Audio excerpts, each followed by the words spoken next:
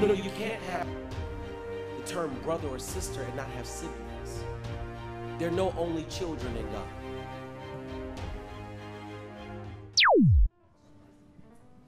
Would you bow and be in prayer with me?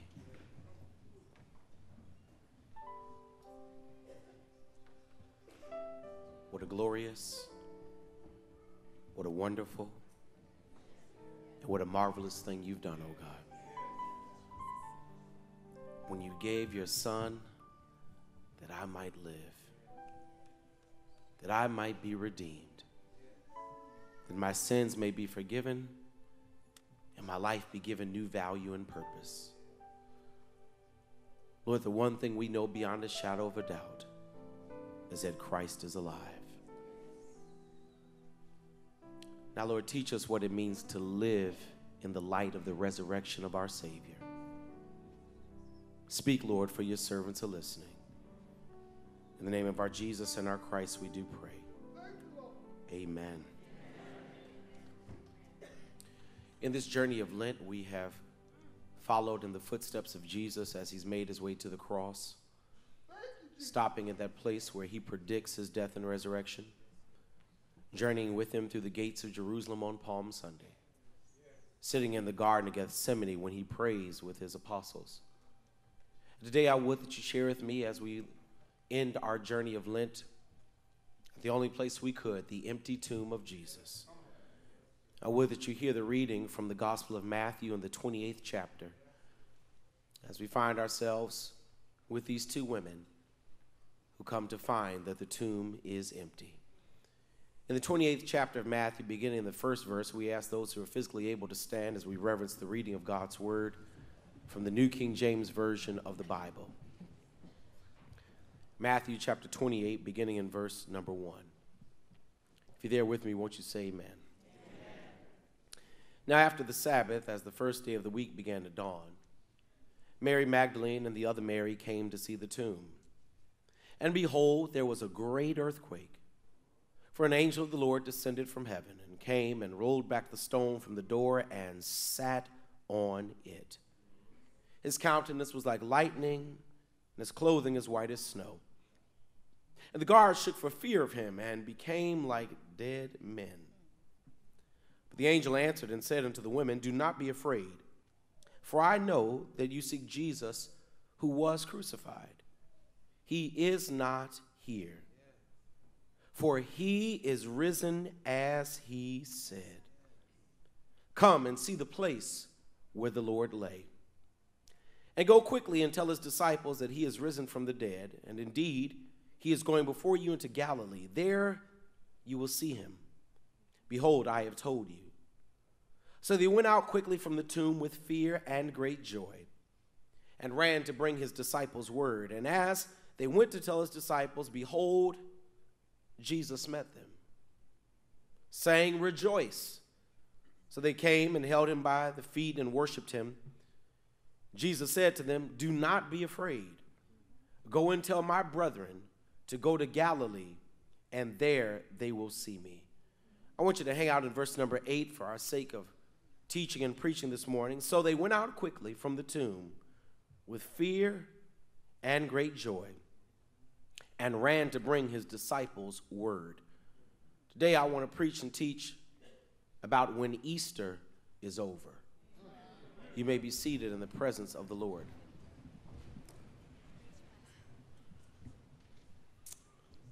It was November of 1993. I was a senior at Duke University, but I was at home in Chicago over Thanksgiving break. And while I was at home in Chicago over Thanksgiving break, got together with some of my friends from high school and found out that there was going to be a great citywide party at a club in Chicago called The Warehouse. Now, if you're not from Chicago, I want you to know that the warehouse is where house music got its name. And it was known, widely known, Clint, to have the best house music, not simply in Chicago, but the entire land. And on the Wednesday before Thanksgiving, they were going to have the house party of all house parties. For that night, that Wednesday before Thanksgiving, they were having a DJ spinoff from some of the baddest house DJs in the late 80s and 90s. Lil Louis, Frankie Knuckles, Steve Silk Hurley, and my favorite DJ, Bad Boy Bill. And I made a decision that on that Wednesday before Thanksgiving, come hell or high water, I was going to the warehouse. Because you see, I was home on Thanksgiving break. It was going to be the biggest and the baddest house party in the land. Bad Boy Bill was going to be on the turntables. All of my friends were going. And I had just turned 21. And Kendall, I was eager and excited to experience and explore the benefit of being 21. So I made up in my mind I'm going to the warehouse because it's going to be the biggest and the baddest house party in the land. I'm at home over Thanksgiving break. Bad Boy Bill is going to be on the turntables. All of my friends are going, and I'm now 21. And so I told my father of my plans to go to the warehouse to the biggest and baddest house party in the land, that Bad Boy Bill was going to be on the mic, on the turntable, that all of my friends were going. I didn't tell him I was eager and excited to explore the benefits of being 21, but I did tell him that I needed his vehicle that evening. To my shock and my surprise, my father was adamant that I was not going to the warehouse. He said to me that that side of town had gotten dangerous, that it was too dangerous to be out that late at night, and to my surprise, he had scheduled me to preach that next day on Thanksgiving for our Thanksgiving worship service. Now, I'm gonna be honest with y'all, I ain't wanna preach on Thanksgiving because Wednesday night I wanted to go to the warehouse. It was gonna be the biggest and baddest house party in the land. Bad Boy Bill was on the turntables, all of my friends were going, and I was ready to enjoy being 21. Me and my dad argued about it. And I wind up telling him that I was grown.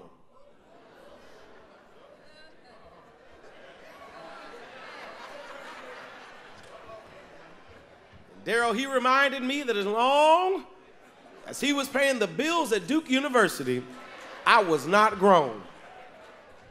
We argued about it. He took his car keys and told me I could not go.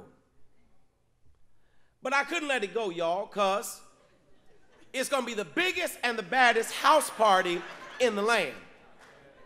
Bad Boy Bill is on the turntables. I'm at home over break. All of my friends are going, and I'm 21.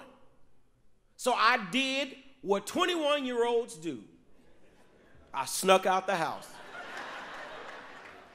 After my parents went to bed, I called my boys. They came over and picked me up, and we went to the warehouse to the biggest and baddest house party in the land. Bad Boy Bill was on the turntables. I was there with all of my friends, and I enjoyed being 21. I got home a little after 3:30 in the morning. Both my parents were still asleep, so I figured all was well. And I did everything I could to get rid of the evidence that I had been at the warehouse. I hung my clothes up sprayed them with some air freshener.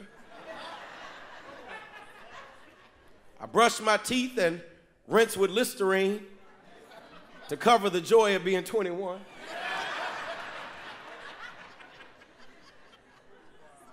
I set my alarm clock and I whispered a prayer that the Lord would let me preach with power on Thursday morning.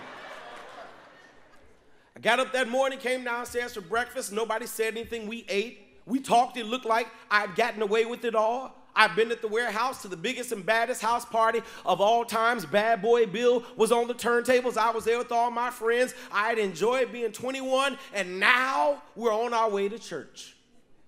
And as I'm driving on my way to church, all of a sudden I heard my father say, Pull over. I pulled the car over. I said, What? He said, Didn't I tell you you couldn't go to the warehouse? Now, I'm, I'm gonna be honest because it's Sunday, I'm in the pulpit. Um, I lied. I said, Dad, what you talking about? Eh? Anybody go to the warehouse? I was at home praying, getting ready to preach. He said, Boy, don't lie to me. I told you you couldn't go to the warehouse. Why did you go? I said, Dad, what are you talking about? I didn't go to the warehouse. He grabbed my right hand and turned it over.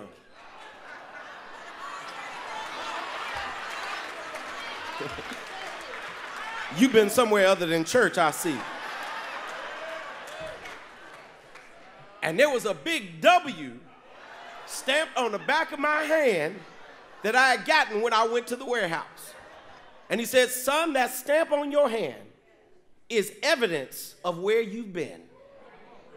Because there's some places you go in life, they stamp you in such a way that no matter how much you try to hide it, there's evidence that you've been right there. In case you've never been to a place where your hand was stamped, allow me to show you a place where your soul is stamped.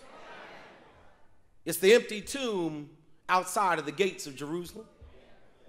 The sun has risen on this Sabbath day, the day after the Sabbath, this Sunday morning. And early this Sunday morning, we find that Mary Magdalene and Mary, the mother of James, have come to this tomb to see the dead body of Jesus. And when they get there, they are amazed to find a few things. Number one is that the stone that had covered the tomb has been rolled away. You got to understand that while they were on their way there, they were trying to figure out who was going to move it, only to get there and find out it had already been moved. I'm gonna give you this one for free. I won't even charge you for it. That while you're trying to figure it out, God has already worked it out. They get there and they find out that the soldiers who had been assigned by Pilate to guard the tomb, to keep the body of Jesus from being stolen, they come and they find that these soldiers have been anesthetized and they look like dead men. How ironic that outside of the tomb, men who were alive looked dead. And inside the tomb, a man who a few days ago looked dead was now alive. They come there and they find an angel sitting on that stone. And the angel invites them to come in and see where the Lord lay. And he declares to them the good news of the gospel is that Jesus Christ, who was crucified, is now risen just as he said. He invites them to come into this place where their lives will be changed forever. Come in and see where the Lord lay, and let me stamp your spirit with something that will give evidence to everyone around you that you now believe that Jesus is alive. And likewise, beloved, I come to suggest to you today that if you would dare this Sunday morning step into this empty tomb, and allow me to play angel in your life and tell you that Christ is risen as he said. That the effect of seeing and believing in the resurrected Savior will change your life in a way that everyone around you will come to know that you are a believer in the resurrected Redeemer that if you dare believe that the Jesus who died is now the Christ who is risen, if you dare believe that the one who gave his life on the cross of Calvary now lives and breathes and walks among us, if you dare hold on to the faith that he is risen from the dead, then there is some sign about you. There's a way you ought to live your life, there's a way you ought to go about your day, there's a way you ought to face the challenges of life, there's a way you ought to navigate through the circumstances of your life life that allow everyone around you to know that you believe that Christ is risen from the dead.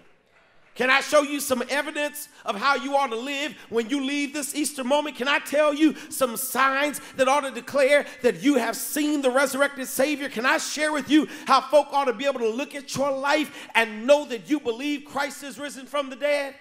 Hang out right here in verse number eight. I'm going to give you four real quick and then we'll get out your way. Number one, this is how I know you know Christ is risen. When you have a surrendered spirit. Let the church say surrendered spirit. Hang out right here in verse number eight. Watch what the Bible says. The angel tells these women who've come in verse number seven to run out quickly. And verse number eight begins by declaring, and they left quickly. Okay, I'm trying again, try it again, because was so it was so shallow, it was deep. Uh, the angel says, run out quickly. And the Bible says, and they left quickly. Okay, I'm trying one more time. The angel tells them, run out of here quickly. And the Bible says they left quickly, which means they did what they were told the way they were told to do it. Because one of the signs that you believe Christ has risen from the dead is that you no longer live life under your own terms but rather you surrender to the will of God, you obey the word of God, and you trust the will of God. Go and say that again, Pastor. One of the ways I know that you know Christ is risen is when you surrender to the will of God, you obey the word of God, and you trust the will, ways of God, and you live your life not however you want to live it, but you live your life in obedience to how the Lord has called you to live and walk because you've surrendered your will to the way of God. That, that, that, that's why, that's why you tell folk who know Jesus, they're obedient to the word of God. You, you want to know why? Why, why you come to church every Sunday and while you're waiting in line and while you're parked blocks away and while you're walking, even sit in overflow? Because he told us to in Hebrews 13 and 5 when he said, Forsake not the assembling of yourselves together.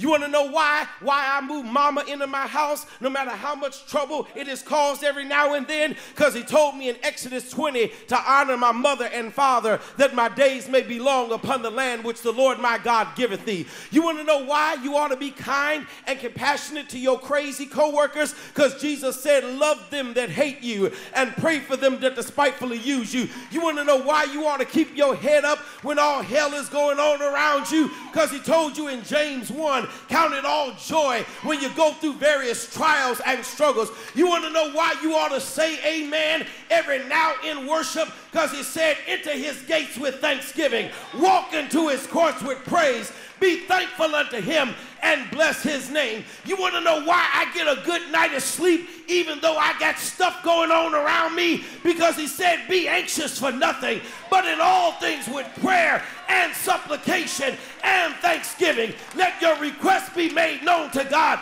and the peace of God, which surpasses all understanding, will guard your hearts and minds. That, that, that I, I believe that the resurrection of Jesus gives the assurance of the fulfillment of the word of God. Watch, watch the angel says.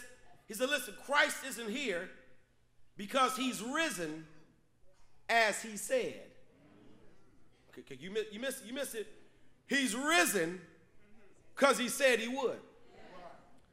And what the empty tomb reminds us of is that God will always do what he said. Testing. Let me. God will always do what he said. And the reason you know you can trust in the word of God is because Christ has risen from the dead. Folks sometimes ask me, Pastor, how do you know God will do it? It's easy because Christ lives. How do I know all things work together for the good of them that love the Lord? Because Christ lives. How do I know that weeping only endures for a night, but joy comes in the morning? Because Christ lives. How do I know the Lord shall supply all of your needs according to his riches and glory? Because Christ lives. How do I know that no weapon formed against me shall prosper? Because Christ lives? How do I know God will take what was meant for evil and use it for my good? Because Christ lives. How do I know that they that wait on the Lord shall renew their strength? Because Christ lives. How do I know that if any man be in Christ, he is a new creature? Because Christ lives. How do I know that neither life nor death, nor angels, nor principalities, nor powers, nor height, nor depth, nor anything present, nor anything to come shall separate me from the love of God? Because Christ lives. You ought to walk in this life with a spirit that is surrendered to the will of God because you know that Christ lives and you can trust God's word. Now, not only ought you have a surrendered spirit, but watch what the Bible says, I'm still in verse 8. They, they left quickly with fear. The second thing I suggest that marks you as a believer that Christ has risen from the dead is not only that you have a surrendered spirit, but secondly, that you have some fearless faith. Do me a favor. Would you look at your neighbor real quick and just ask him, What are you afraid of? Okay, okay. Uh, if you got a little urban in you, uh, ask him what you scared of. What, what you scared? What? You know what are you? What? What? What? what, what watch Bible says. Bible says they left with fear, and the word used here for fear is this Greek word phobos, from where we get phobia. And so this is not fear as in fear of the Lord with reverence. This is fear of something or someone. And y'all, I'm telling you, I prayed most of my day yesterday trying to figure out what they were afraid of. There are no Pharisees around. The Sanhedrin believes it's all said and done. The Roman soldiers are anesthetized. What are they afraid of? And for the life of me, I could not figure out what they were afraid of until the Holy Spirit told me to keep reading. Now I'm gonna drop something deep on you, don't miss this. They were afraid in verse 8, but after verse 8 comes verse 9. That's deep. and in verse 9, Jesus shows up. And in verse 10, this is what Jesus says Don't be afraid. Jesus shows up to those who've been to the tomb. He said, Listen, it is not the will of the Lord for those who know that Christ is risen to be afraid of anything. That when you know he's risen from the dead, there should be nothing that frightens you, nothing that makes you anxious, nothing that makes you fearful. Wish I had a Bible reader. Paul told Timothy, God has not given us, well, you read your Bible, a spirit of fear, but of love and of power and a sound mind. That that a born again believer has no reason to be afraid. I, I am sick of weak and wimpy Christians who are afraid of every little bit of bad news, afraid of every bad diagnosis, afraid of enemies circling around you. When you know that your Savior lives, you ought not be afraid of anything. Here it is. Because the good news from the graveyard is this whatever it is, God can handle it. Well, I, this mic keeps going out on me. Whatever it is, God can handle it. Whatever you're afraid of, whatever you're worried about, whatever's keeping you up at night, whatever's making your blood pressure run high, whatever's making your stomach flip and flop, I come by to tell you that God can handle it. Come on to the tomb. If, if the earth needs to be shaken, God can handle it. If stones need to be moved, God can handle it. If enemies need to be shut up, God can handle it. If angels need to be dispatched, God can handle it. If statistics need to be defied, God can handle it. If surgeons need to be used, God can handle it. If chemotherapy is on the agenda, God can handle it. No matter what it is that's got you afraid and worried and upset, you need to trust that God can handle it. And Jesus tells these women not to be afraid because he wants them to know that if you've seen and believe that God could resurrect his son from the dead, then you've got nothing else to worry about. Because if God has conquered death, everything else on your agenda is easy. Okay, let me help you real quick. Um, I I need to let you know this uh, this testimony, not, not not brag. I graduated from Duke with honors. But but but I gotta confess, part of the reason I graduated honors is because I cheated. Yep, yep, I cheated. Um, how did I cheat? Well, in high school, I took, in my senior year, AP chemistry, AP calculus, and AP physics. I was a cool nerd. I took AP calculus, AP chemistry, and AP physics. And I tested well on the AP exams, So much so that when I became a freshman at Duke, I qualified for advanced physics, advanced calculus, and advanced chemistry. And so, since I had taken AP chemistry, AP calculus, and AP physics in high school, I was signing up for advanced physics, advanced calculus, and advanced chemistry. And in the midst of signing up for advanced chemistry, advanced physics, and advanced calculus, Connie Simmons, the dean of students at Duke University, sister came up to me and said, Hey, you don't want to do that. you don't want to take advanced chemistry, advanced physics, and advanced calculus your freshman year. I said, Well, what do you recommend I take? She said, Listen, you need to take Chemistry 101, Introduction to Calculus, and Physics for Beginners.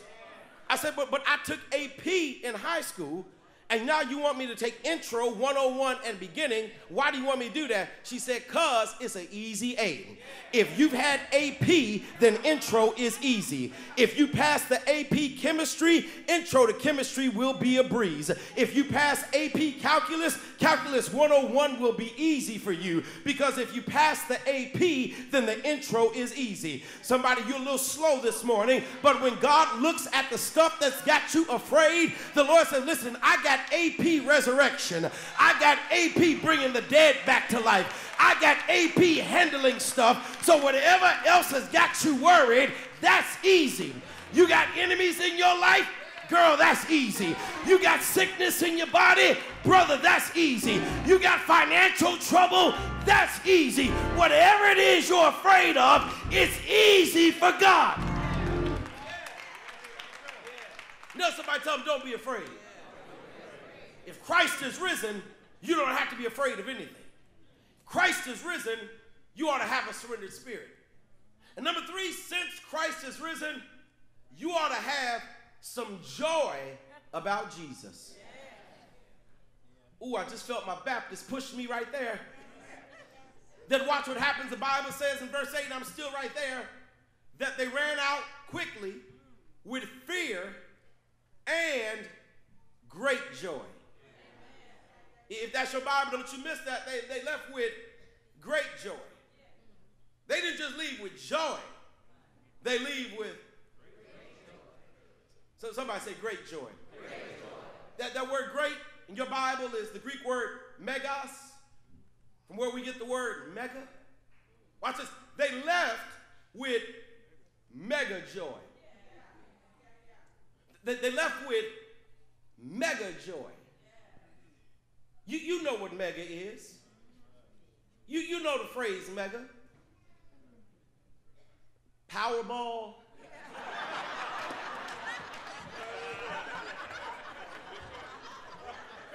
Look at you and say, what you know about that? Power, mega millions. You, you may not scratch tickets, but when you hear that mega millions pays $240 million, it'll make you buy a ticket and play some numbers. I, I know you, you say, well, what was Pastor Scripture? Chapter 28, 1 through 10. Uh, yeah, give me 28, 1, uh, 10.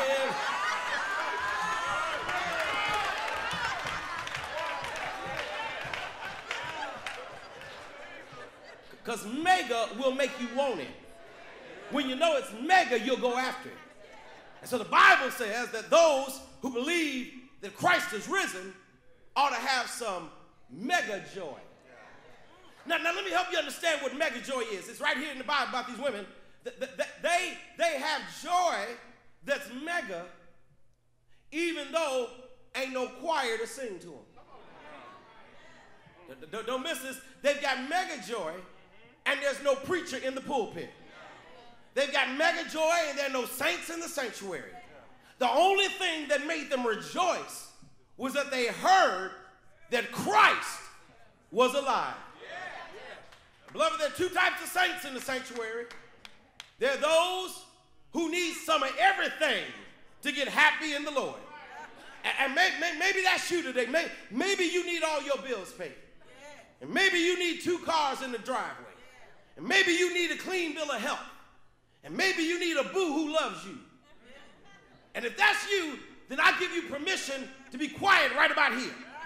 But, but I'm looking for a couple Marys who say that if I ain't got nothing other than the assurance that my Savior lives, that's all I need to put clapping in my hand. Is there anybody here this morning that if I told you Christ was alive, you'd wave a hand? If I said he lives, it'll put clapping in your hands. When you know that my Savior lives, it puts running in your feet that Christ is alive. I've got joy, unspeakable joy. And mama used to say, this joy I have. I wish you were old school. The world didn't give it, and the world can't take it away. If I'm sick, I still got joy. If I'm laid off, I still got joy. If I'm all by myself, I still got joy because Jesus lives. Hey, hey, hey, hey, hey. Watch this.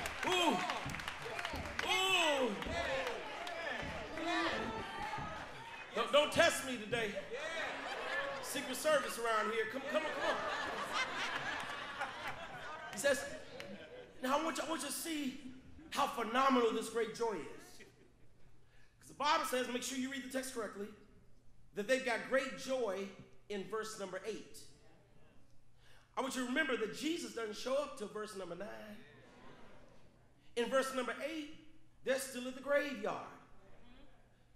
They've got great joy in the cemetery, and they ain't even seen Jesus yet. They, they, they've got great joy in a dead place without having seen what they've been expecting, but they still have joy.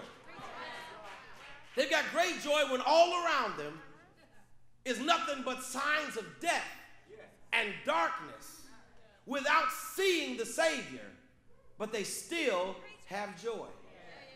Now, the question you ought to be asking right about here is how can you have joy in a cemetery and you ain't even seen Jesus? Because the empty tomb not only gave them joy, it gave them the other defining mark of a believer hope.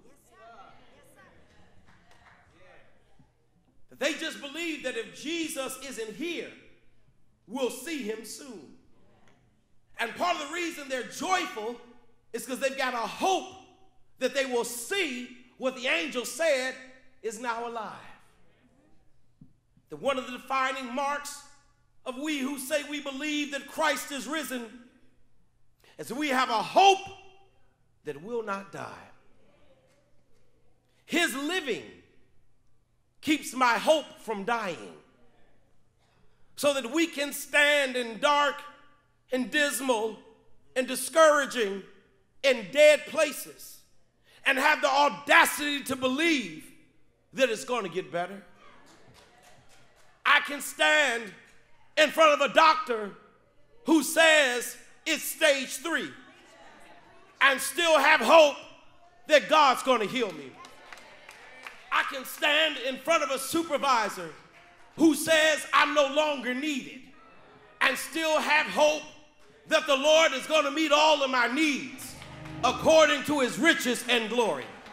I can stand in front of a judge and hear him tell me that my child has got five to ten, but still have hope that when he gets out, his life will be better then than it is right now. I wish I was preaching to some hope filled saints who declare no matter how dark and discouraging, I've got a hope in my spirit.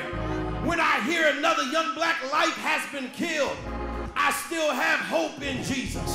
When I see another act of senseless gun violence, I still have hope in Jesus.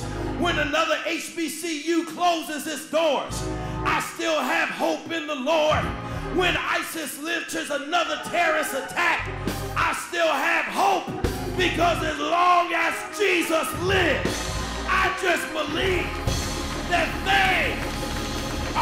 get better.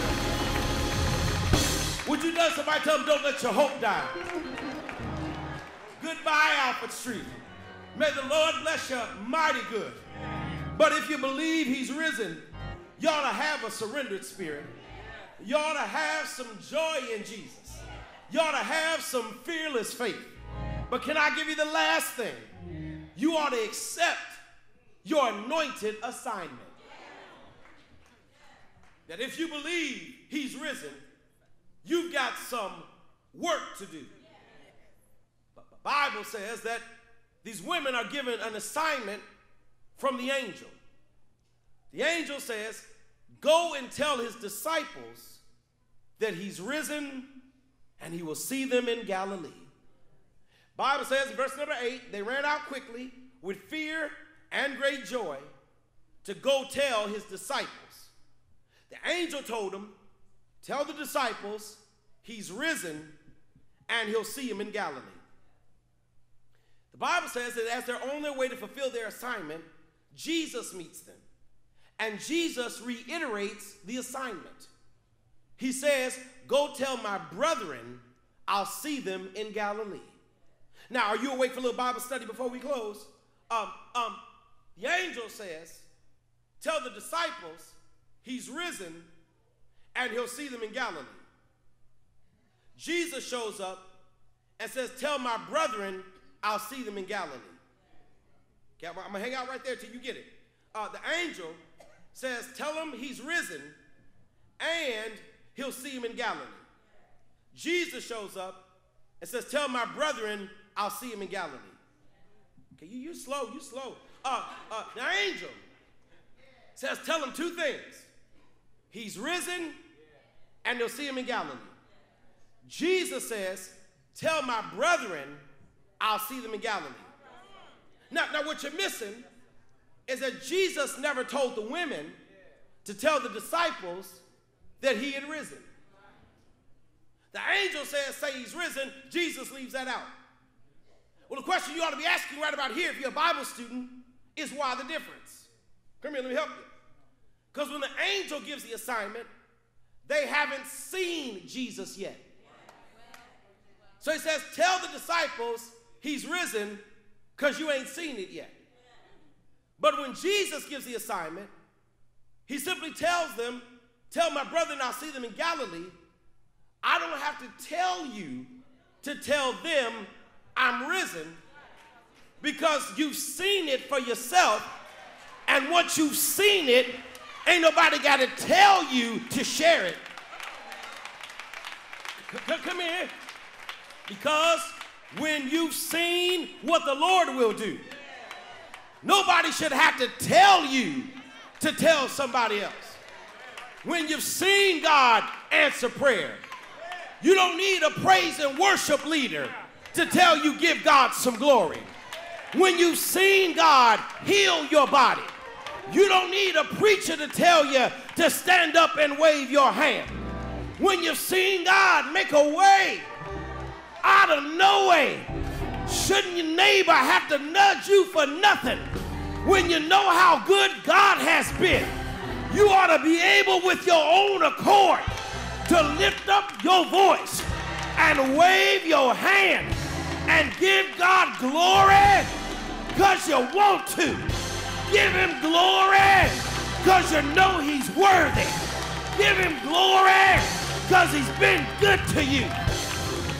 Is there anybody here that's seen God do great things and you don't need nobody to tell you when to say amen? Because when I think of the goodness of Jesus and all for me, hey, hey, hey.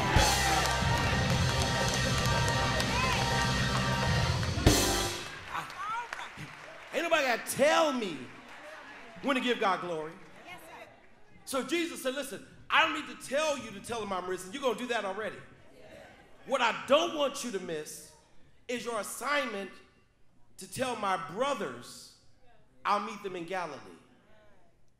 Hang out right here. The assignment is to tell my brothers I'll meet them in Galilee. Now remember, the angel told the women, Tell the disciples. Jesus doesn't call them disciples, he calls them brothers. Why? Well, because they have failed discipleship.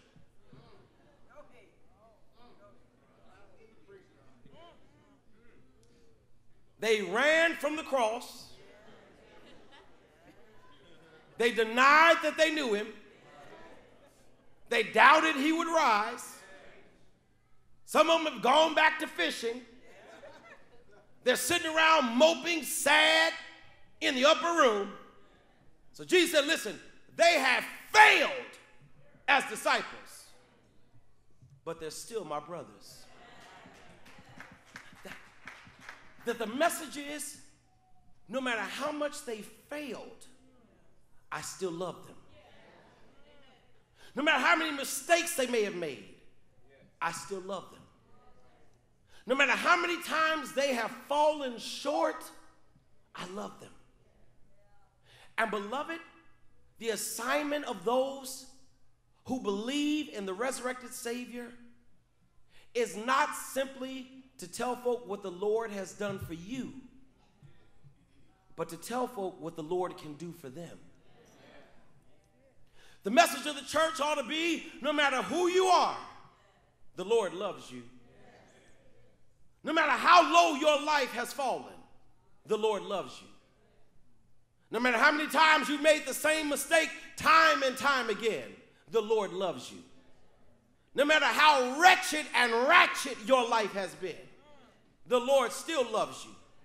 And the Lord wants to meet you in Galilee because He's got a new assignment for you. He's got a new purpose for you. He's got a new glory for you. He's got another work for you.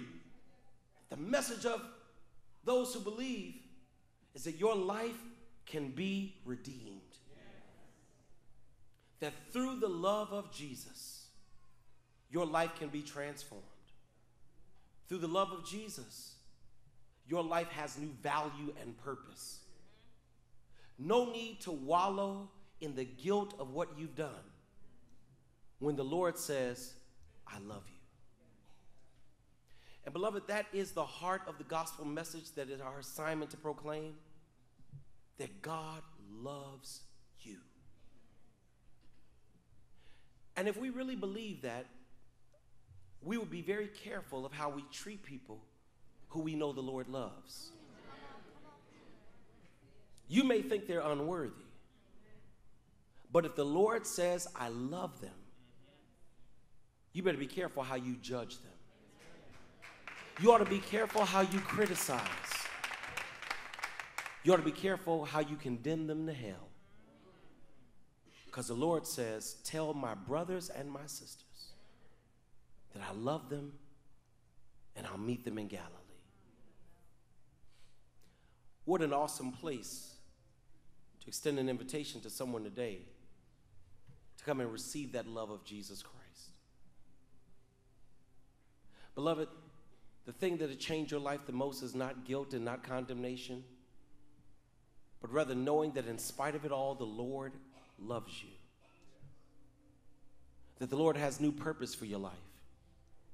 When he uses that term, brethren, he wants you to know not only do I love you, but I'm connected to you. You know, you can't have the term brother or sister and not have siblings. There are no only children in God.